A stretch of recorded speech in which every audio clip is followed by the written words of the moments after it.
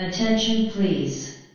This is a boarding call for Amtrak Capitol Limited Train 29, en route to Chicago, with intermediate stops at Rockville, Harpers Ferry, Martinsburg, Cumberland, Connersville, Pittsburgh, Alliance, Cleveland, Elyria, Sandusky, Toledo, Waterloo, Elkhart, and South Bend.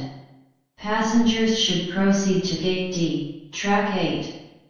Please have your travel document ready for inspection. Thank you for choosing Amtrak.